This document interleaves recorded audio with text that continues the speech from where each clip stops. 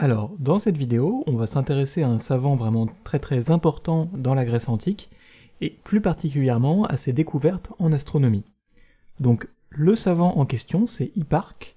Alors, Hipparque, ses dates de vie et de mort, c'est moins 190, moins 120, et sa ville natale, son pays natal, correspond en gros à la Turquie actuelle, bien qu'à l'époque, euh, c'était un scientifique grec. Alors, il est connu pour de nombreuses choses en astronomie, la première chose, c'est d'avoir construit une sorte d'observatoire. Donc un observatoire. Et de cet observatoire, il a pu observer vraiment avec une précision euh, jusque-là inégalée les étoiles et les planètes qui composaient le ciel. Et donc, à partir de ces observations, il a fait un répertoire qui est composé à peu près 850 étoiles. Avec vraiment des choses très très caractéristiques, comme vraiment leur position, leurs coordonnées dans le ciel, leur magnitude, leur luminosité, et ça vraiment il l'a fait avec une précision qui était jusque-là inégalée. Donc il a noté les coordonnées,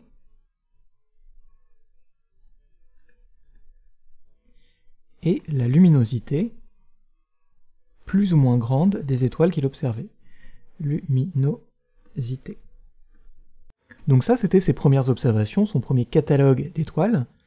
Et de ça, il a fait une autre observation qui est également très très euh, importante, c'est que l'on peut observer un phénomène également de précession.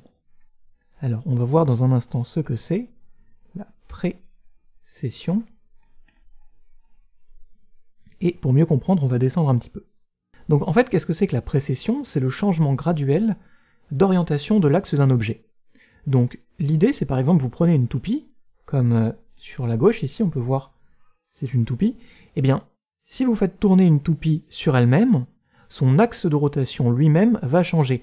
La toupie, elle ne va pas, faire une rotation sur elle-même sur un axe parfaitement droit. En fait, la, toupie, elle va tourner et son axe de rotation va tourner également. Donc, vous voyez, par exemple, l'axe qui est ici, eh bien, il va tourner.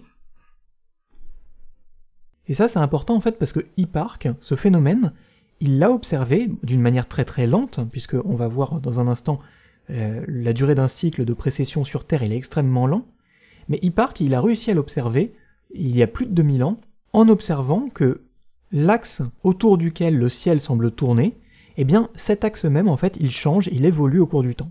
Et donc vous voyez, ici, c'est le cas d'une toupie, et sur la droite, on peut voir que sur Terre, c'est un petit peu la même chose. On remplace la toupie par la Terre, on conserve un axe de rotation, et on voit que la Terre, elle va se comporter un petit peu comme une toupie, son axe de rotation va changer. Alors, sauf que pour une toupie, on peut le voir euh, très très rapidement, on peut le voir, euh, ça, dure simplement quelques secondes, la, durée d'un cycle, alors que sur Terre, c'est très très difficile de l'observer, puisque un cycle, il dure environ 26 000 ans. Donc 26 000 ans.